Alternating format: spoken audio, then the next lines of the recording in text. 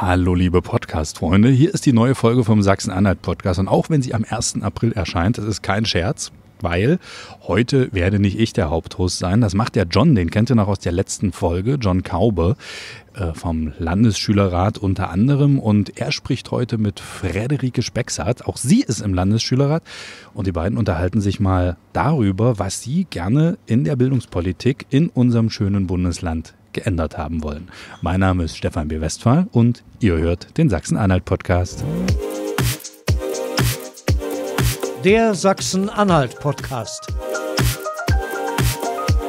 Hörgeschichten für Sachsen-Anhalt.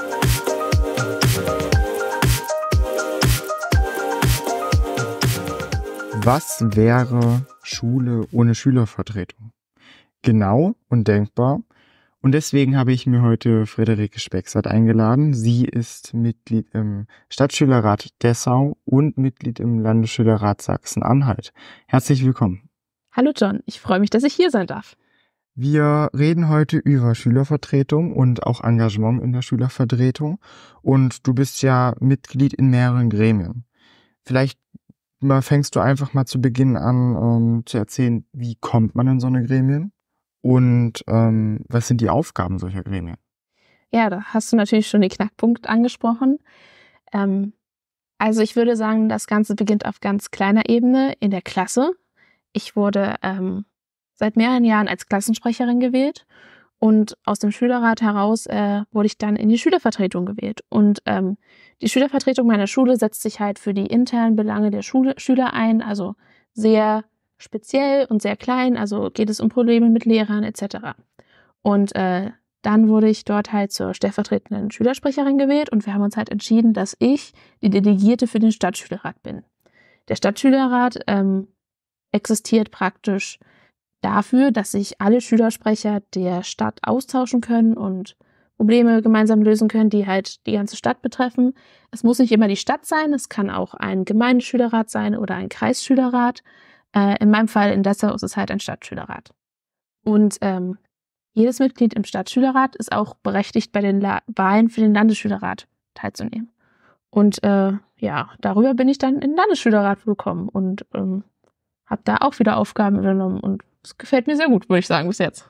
War es denn sofort dein Ziel, in den Landesschülerrat zu kommen? Also war das so, als du dann in den Stadtschülerrat kamst, auch dein obergeordnetes Ziel? Ja, ich möchte den Landesschülerrat Sachsen-Anhalt? Also um ehrlich zu sein, war es gar nicht mein Ziel, weil ich nicht wusste, dass der Landesschülerrat existiert. Das ist jetzt wahrscheinlich ein bisschen traurig, wenn ich das so erzähle, aber ähm, ich wurde im Stadtschülerrat als stellvertretende Sprecherin gewählt und äh, hatte dementsprechend auch ein bisschen Selbstbewusstsein dann bei den Wahlen und ja, irgendwie wurde dann so erzählt, dass man sich halt trifft und Plenartagungen und was man für Themen bespricht und dass man sich im Bildungsministerium trifft und irgendwie fand ich das dann ziemlich cool und habe mich dann auch wählen lassen. Und ähm, ja, also ich muss sagen, ich bin sehr froh darüber, weil es macht mir ziemlich viel Spaß und es sind auch wirklich Themen, die einen interessieren und auch weiterbringen. Und das finde ich sehr schön. Jetzt hast du ja angesprochen, dass du nicht direkt wusstest, dass der Landesschülerrat überhaupt existiert. Denkst du oder bist du der Meinung, es hing eher damit zusammen, dass du, dass die Thematik an dir vorbeigegangen ist? Oder siehst du das Problem eher darin, dass ähm, Schülerräte oder dass der Landesschülerrat oder eben die Schülergremien allgemein zu wenig Aufmerksamkeit bekommen? Also ich glaube, das ist auf jeden Fall ein Punkt, weil zumindest unter Schülern ist es nicht bekannt, dass es solche übergeordneten Schülergremien gibt, die auch die Macht haben, was zu bewirken. Und ich glaube, auch an meiner Schule war es zum Beispiel auch den Lehrkörper nicht äh, bewusst. Also wie viele Lehrer haben mich blöd angeguckt, als ich meine Freistellung brauchte und sie so, Landesschülerrat, was ist das? Was machst denn du da? Und wie bist du da reingekommen? Und es ist halt schon erschreckend, wenn man sieht, dass, sage ich mal, viele Menschen, also vor allem auch Schüler, gar nicht wissen, ähm, dass es diese Schülervertretung gibt mit auch diesen Rechten und ähm, diesen Möglichkeiten auch. Ne? Und ich glaube nicht nur, dass es an mir vorbeigegangen ist, ich glaube auch allgemein, dass es zu wenig Aufmerksamkeit dafür gibt, weil das sehe ich auch jetzt, wo ich halt Bescheid weiß, was es gibt, dass man doch sehr selten was in der Zeitung über Schülerrat hört, oder? Also, wenn ich mir meine Zeitung angucke, sehe ich eigentlich kaum Schülervertretung, das ist richtig. Ähm, jetzt haben wir ja 2024 und man bezeichnet das ja auch als Superwahljahr. Ähm, knapp 64 Wahlen auf der ganzen Welt. Ähm, in Deutschland unter anderem haben wir Kommunalwahlen und auch Landtagswahlen. Ähm, siehst du denn die Thematik Schülervertretung, muss die gerade auch im Wahlkampf mehr in den Fokus rücken und in der nächsten Zeit und auch in der Zukunft ähm, mehr, ja, mehr in den Fokus rücken und auch mehr An Ansichtspunkte in der Politik gewinnen? Also ich glaube, dass auf jeden Fall der Wahlkampf eine Möglichkeit ist, besonders junge Menschen auch abzuholen. Also viele Kommunalwahlen sind ja auch schon ab 16 Jahren. Und ähm, ich bin der Meinung, dass man auf jeden Fall Stimmen damit akquirieren kann, wenn man jungen Menschen zeigt, ey, wir hören euch, wir sind auch mit euren Themen vertraut. Ähm, und dafür kann halt ein Schülerrat auf jeden Fall sehr gut sein, weil der Schülerrat repräsentiert halt Schüler und die meisten jungen Menschen sind halt noch Schüler in irgendeiner Form, sei es in der weiterführenden Schule, sei es auf einer Berufsschule. Und ich glaube, Schülerräte wissen auch ganz gut, was gerade so schief läuft, was Angriffspunkte sein könnten für die Politik. Und das könnte man auf jeden Fall gut in einem Wahlkampf benutzen. Und ich würde mir auch wünschen, dass man natürlich über den Wahlkampf hinaus Schülervertretungen auch weiterhin zuhört und vor allem auch noch mehr zuhört, damit einfach auch die wichtigen Themen der Schüler irgendwie in die Politik kommen. Jetzt hast du schon erwähnt, äh, Wahlkampf ist das eine Thema. Man kann natürlich viel im Wahlkampf behaupten. Ähm, man muss auch über den Wahlkampf hinaus darüber reden. Was muss denn die Politik oder was würdest du dir denn wünschen, was die Politik unbedingt umsetzen oder erreichen muss, damit Stadtschülerräte vielleicht mehr Möglichkeiten erhalten? Also ich würde sagen, auf jeden Fall ein Budget ist ein großer Punkt, der Schülervertretung oft fehlt. Also ich glaube, im Schulgesetz ist verankert, dass die Schülervertretung in der Schule halt einen Raum zum Treffen haben muss und auch irgendwie Kopiermöglichkeiten und sowas. Und das ist natürlich essentiell für die Arbeit. Aber ähm, oft liegt es halt wirklich auch am Geld, weil ich sag mal so, jedes arbeitende Gremium hat laufende Kosten und ähm, sei es Werbemittel, sei es irgendwie Presseartikel, äh, die verfasst werden müssen. Man braucht Geräte, man braucht Zugang, man braucht vielleicht auch mehr Wasser für Sitzungen und so weiter. Also ich sag mal so, das klingt jetzt vielleicht doof, aber Geld regiert halt die Welt und ähm, es ist einfach nicht vorgesehen, dass äh, zum Beispiel der Stadtschülerrat bei uns Geld in irgendeiner Form bekommt. Und das ist natürlich eine Sache, die man auf jeden Fall verbessern könnte. Andererseits gibt es natürlich auch äh, super viele Themen, die einfach untergehen, weil uns einfach nicht zugehört wird. Und ähm, über den Wahlkampf hinaus würde ich mir einfach wünschen, dass man sensibler dafür ist und auch vielleicht die Anlaufstellen, die man hat, also Stadtschülerräte, Schülervertretungen in Schulen allgemein oder auch der Landesschülerrat, dass man dort einfach sensibler ist, mehr nachfragt, mehr zuhört und vor allem dann auch mehr davon umsetzt. Jetzt bist du stark auf den Stadtschülerrat eingegangen, dass er zum Beispiel ein Budget braucht. Hat denn der Landesschülerrat finanzielle Mittel? Also das sieht bei uns leider auch nicht so gut aus, wenn ich richtig informiert bin. Natürlich werden Fahrtkosten erstattet und wir haben, glaube ich, auch ganz geringe Werbemittel, wenn ich mich nicht irre. Aber ich sag mal so, Sitzungsgeld ist nicht hoch, wenn es überhaupt gezahlt wird. Natürlich muss man sagen, Ehrenamt ist natürlich unbezahlt in dem Sinne. Aber ähm, ich glaube, auch da fehlt es deutlich an finanziellen Mitteln, die auf jeden Fall die Arbeit erleichtern könnten und vor allem auch helfen würden, dass man halt, sage ich mal, besser arbeiten kann und vor allem auch motivierter arbeiten kann und auch auf jeden Fall Mittel hat, zum Beispiel zu Terminen zu fahren, zu äh, verschiedenen Kongressen etc., weil da müssen natürlich auch Hotels bezahlt werden etc. Und das ist natürlich schwieriger, wenn man kaum Mittel zur Verfügung hat. Dann möchte ich mal noch auf ein Thema, also wir waren jetzt sehr Sachsen-Anhalt bezogen, sehr kommunal bezogen. Ähm, und es gibt ja auch noch ein Gremium, was über dem Sachsen-Anhalt steht, die Bundesschülerkonferenz. Und ähm, du bist ja auch ähm, ähm, vertretende Delegierte für, den, für die Bundesschülerkonferenz. Kannst du da vielleicht noch ein, zwei Worte darüber verlieren, was, also die Bundesschülerkonferenz ist ja auch ein Schülergremium, besteht tatsächlich aus den Landesschülervertretungen. Wie ist da die Auffassung? Wird dieses Gremium denn gehört oder wie fasst du das auf? Also ich würde schon sagen, dass auf jeden Fall, umso höher die Ebene ist, man doch ähm, auf jeden Fall auch ernst genommener wird. Ich habe das ähm, selbst erlebt, zumindest die Mittel sind auf jeden Fall auf Bundesebene deutlich mehr vorhanden. Und werden auch dementsprechend für verschiedenste Sachen genutzt. Also ich war im Oktober, glaube ich, beim Bildungskongress, der von der Bundesschülerkonferenz organisiert wurde. Und da waren auf jeden Fall viele Mittel vorhanden, die auch gut genutzt wurden. Also wir hatten einen sehr interessanten Austausch über mehrere Tage, haben Workshop-Phasen gehabt, haben uns auch untereinander ausgetauscht. Ich hatte sehr schöne Gespräche mit Schülervertretern aus äh, Bayern zum Beispiel, mit denen ich sonst natürlich niemals ins Gespräch gekommen wäre. Und äh, da sieht man einfach, wie gut es ist, wenn man einen gewissen Austausch von Schülervertretungen hat, wenn man, ähm, sage ich mal, sich unterhalten kann, wenn man Probleme lösen kann, wenn man Inspirationen bekommt. Und ähm, das ist natürlich eine Sache, die äh, die Bundesschülerkonferenz auf jeden Fall leistet. Ähm, da sind ja meiner Wissen was fast alle Landesschülervertretungen vertreten, bis auf ein paar Ausnahmen. Und das trägt, glaube ich, auf jeden Fall dazu bei, dass man zumindest Ansprechpartner aus den anderen Ländern kennenlernt und einen gewissen Austausch hat. Kamt ihr denn auf euren Gesprächen auch zu der Thematik, ob diese Schülergremien in den anderen Bundesländern gehört werden oder mehr gehört werden? Oder kam das gar nicht erst zur Ansprache? Ach, ich glaube, das ist allgemein ein Problem, dass Schülervertretungen nicht für voll genommen werden oder zumindest nicht immer. Natürlich hängt das immer stark von den politischen ähm, Entscheidungen ab im Land und auch von den Amtsinhabern, wie sehr sie sich, sage ich mal, dafür einsetzen für die Belange von Schülern. Aber ich glaube, also wenn ich jetzt auf der Straße fragen würde, kennen Sie denn eine Schülervertretung, dann ist das, glaube ich, eine, naja, eine Frage, die wohl sehr selten mit Ja beantwortet werden würde. Und ich glaube, das ist nicht nur in Sachsen-Anhalt so, das ist bestimmt auch in anderen Bundesländern so. Jetzt gibt es auch andere Gremien, wie zum Beispiel den Elternrat. Wird dieser denn mehr, oder hast du das Gefühl, dass dieser mehr beachtet wird?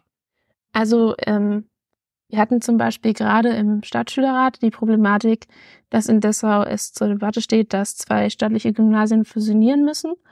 Und ähm, ich bin momentan Sprecherin vom Stadtschülerrat in Dessau und wurde dementsprechend auch halt befragt, wie wir dazu stehen als Schülervertretung.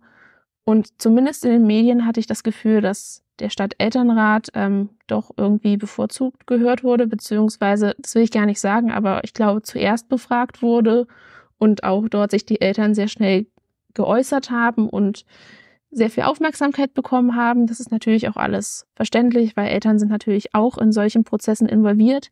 Aber ich finde halt auch, dass die Belange von Schülern doch eine große Rolle spielen sollten, weil bei so wichtigen Themen wie der Fusion von zwei Gymnasien, auf denen die meisten Schüler der Stadt, sage ich mal, dann gehen, ähm, sollten doch die Schüler und die Ängste und Schüler, nee, die Ängste und Probleme der Schüler gehört werden. Und dementsprechend finde ich schon, dass ähm, ja, man, sage ich mal, Schülergremien nicht äh, unterschätzen sollte, nur weil die Mitglieder noch nicht volljährig sind. Jetzt ähm, muss man natürlich auch sagen, dass ihr auch vielleicht gar nicht so die Möglichkeit habt, immer sofort alle Fragen zu beantworten, beziehungsweise auch gar nicht so in den Fokus rücken können, weil ihr seid ja alle Schüler. Und ihr macht das ja auch alle ehrenamtlich.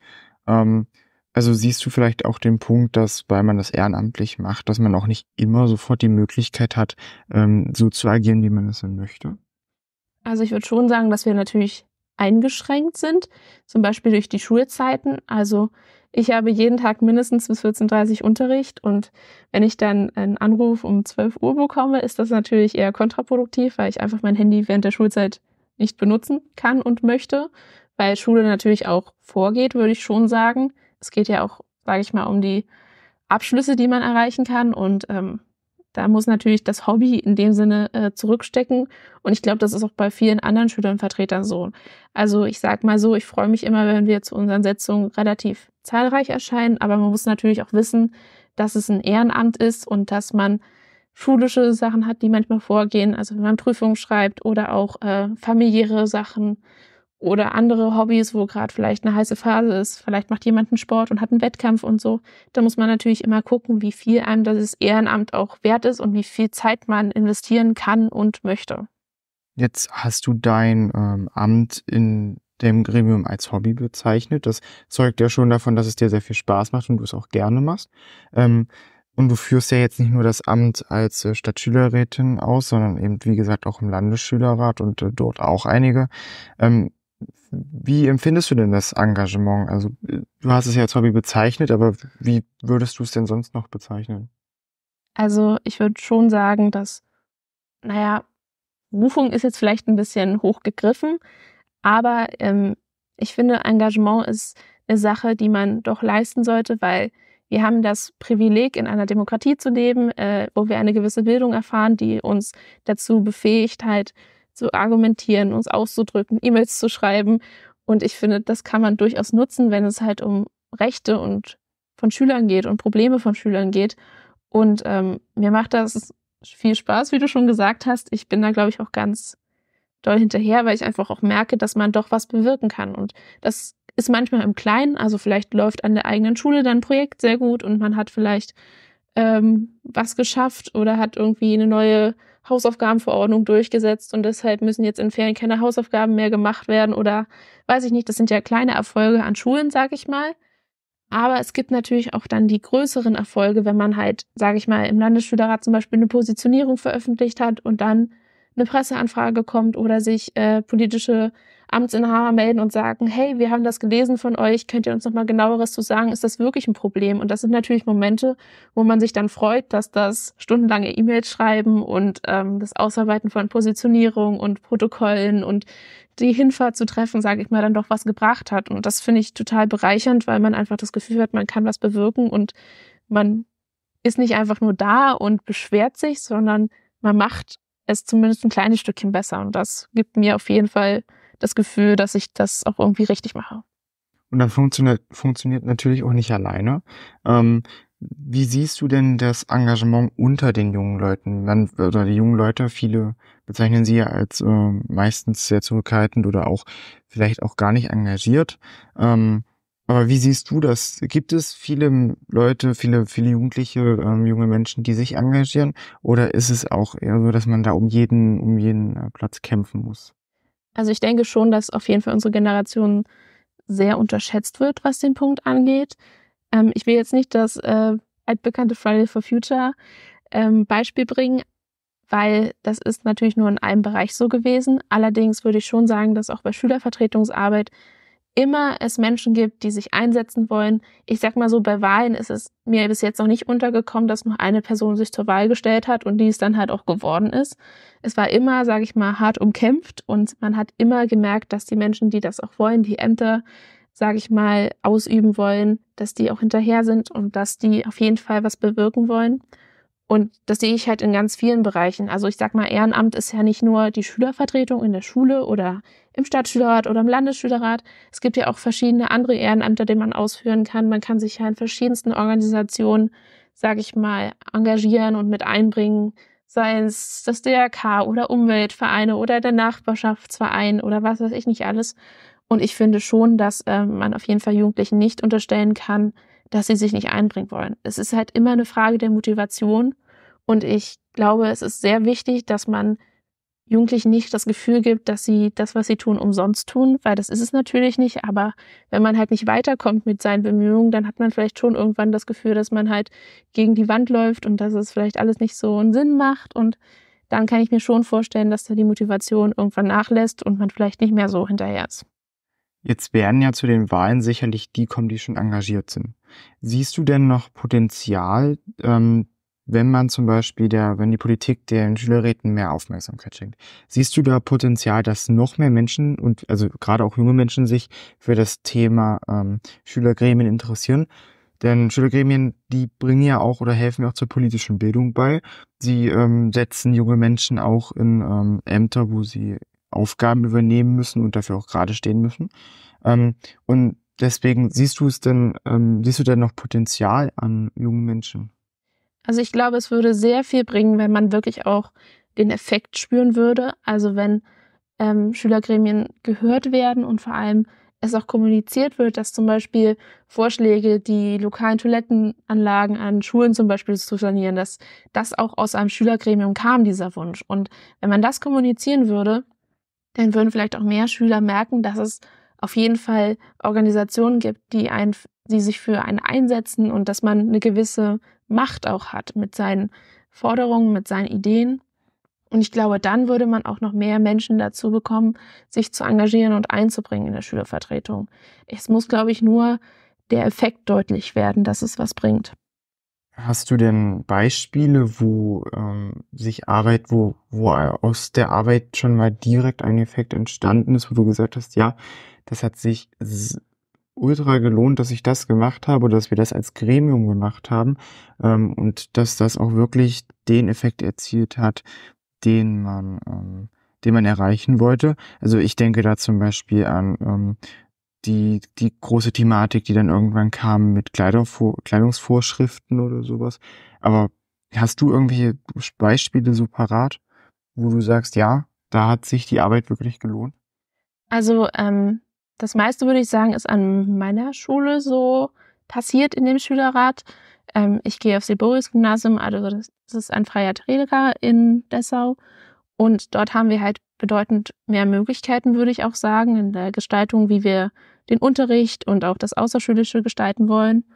Und ähm, also wir haben zum Beispiel gerade auf den Weg gebracht, früher gab es die Regelung bei uns im Schulhaus, dass Tablets und auch Handys, sage ich mal, verboten sind. Und es gab halt zum Beispiel viele Probleme mit äh, Menschen, die jetzt iPads benutzen und sich zum Beispiel auf Prüfungen in den Pausen vorbereiten, die dann einkassiert wurden etc. Und da haben wir zum Beispiel als Schülerrat und jetzt dagegen gestellt und haben, sage ich mal, auch im Lehrerrat und in der Schulleitung unsere Probleme vorgetragen. Und das wurde jetzt zum Beispiel zu unseren Gunsten entschieden. Also momentan ist es dann doch legitim, dass man das iPad zum Vorbereiten benutzt. Das ist jetzt natürlich nur so ein ganz aktuelles kleines Beispiel.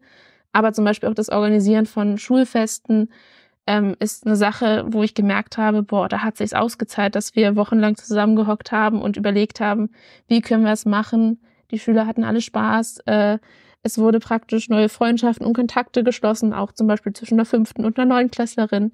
Das sind so Sachen, wo man sich so denkt, boah, da haben wir zwar zwei Monate lang unsere Nachmittage geopfert, aber es kam richtig cooles Fest bei raus und die Schülerschaft hatte Spaß und solche Erlebnisse hat man, glaube ich, auch auf anderen Ebenen, wenn man nur hart genug dran ist und wenn man vor allem dann auch die richtigen Menschen erwischt aus der Politik, die die Probleme dann auch umsetzen können. Weil das kann man nicht immer nur alleine. Da brauchst du dann auch wirklich den Rückhalt im Stadtrat oder auch im Bildungsministerium.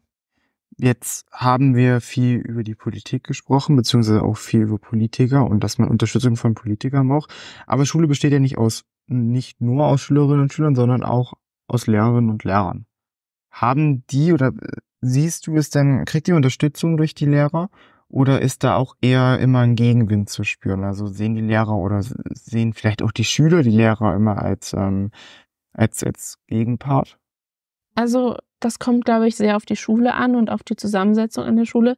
Ich persönlich habe nur sehr gute Erfahrungen eigentlich mit Lehrern gemacht und habe auch die Lehrer immer als sehr ähm, unterstützend wahrgenommen, zumindest was Schülervertretungsarbeit angeht.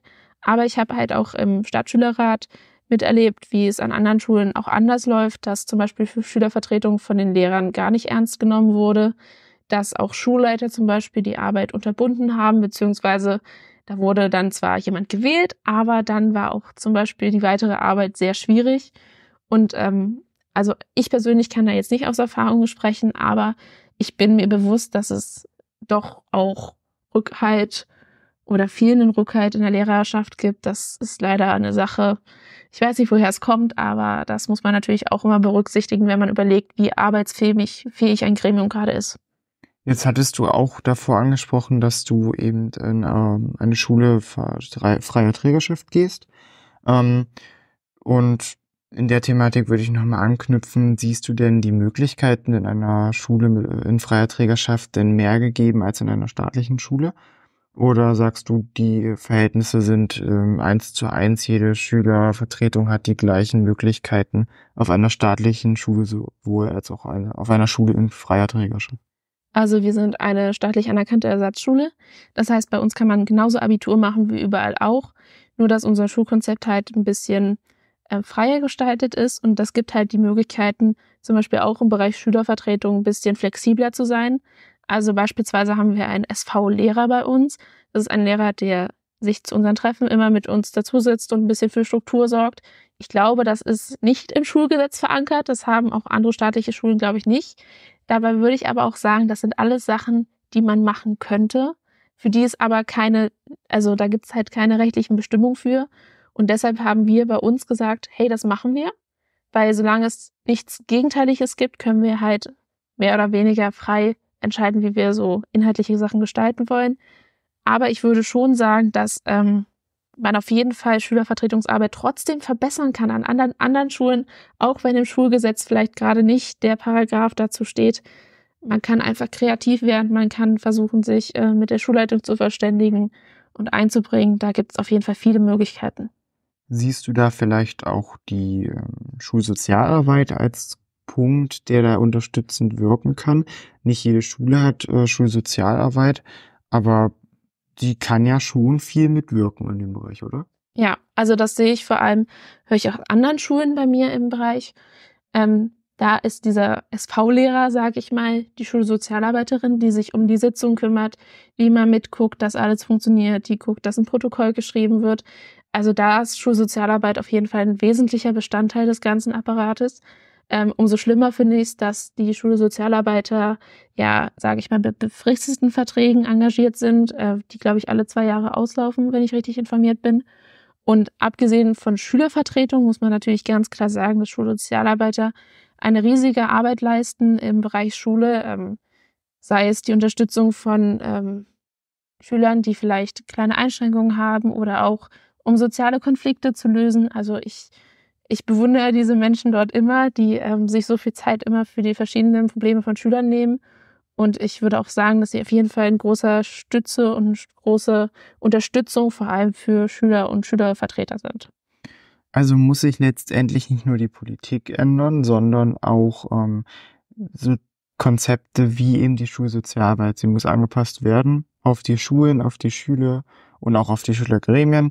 Die Politik muss ähm, sich auf jeden Fall, oder du würdest dir wünschen, dass die Politik sich mehr ähm, darum kümmert, äh, die Schülergremien in die, ja, doch in den Mittelpunkt zu stellen, gerade wenn es um Themen ähm, in der Schule geht. Ähm, ich denke, das war eigentlich ein ganz guter Überblick über Schülergremien und ähm, auch mal einen Einblick zu bekommen von jemandem, der ja, ich würde schon sagen, tagtäglich in dem Bereich ähm, tätig ist. Ähm, ich danke dir für deinen Einblick und ich danke dir für die Ausführungen und äh, würde mich jetzt auch verabschieden. Ja, also danke, dass ich hier sein durfte. Ich freue mich, dass ich, sage ich mal, jetzt hier ein bisschen mehr dafür vielleicht sensibilisieren konnte, mal zuzuhören und vielleicht mal bei den Kindern auch mal zu fragen, wie es in eurer Schule so läuft und auf alle jungen Menschen anzusprechen, hey, verändert was, ihr könnt was machen, engagiert euch in eurer Stadt, in der Schule, es gibt super viele Möglichkeiten. Ja, ich würde mich freuen, wenn ihr euch einbringen würdet. Das waren John und Frederike. Vielen Dank an die beiden und ihr hört sie in der kommenden Folge schon wieder. Dann geht er nämlich los, unser Wahlkompass, unter anderem mit John Kaube und Frederike Spexert, außerdem mit dabei Felix von nein, Felix Graf von Plettenberg und Cloud. Chris Lucio Schönburg ist auch mit am Start und ich. Und wir werden über ganz viele Themen sprechen, die die Europa- und insbesondere die Kommunalwahlen in Sachsen-Anhalt betreffen. Das Ganze machen wir jetzt in fünf Folgen vor der Wahl, sodass ihr einen schönen Wahlkompass von uns erhaltet. Wenn ihr das nicht verpassen wollt, dann abonniert den Kanal, schreibt uns gerne. Aber jetzt erstmal einen schönen Frühling. Ciao. Sie hörten den Sachsen-Anhalt-Podcast. Hörgeschichten für Sachsen-Anhalt.